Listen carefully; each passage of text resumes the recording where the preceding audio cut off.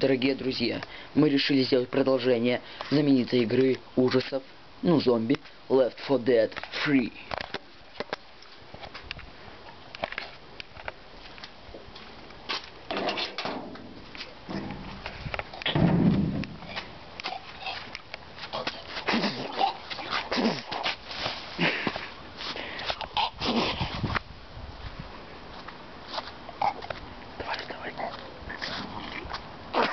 Deus.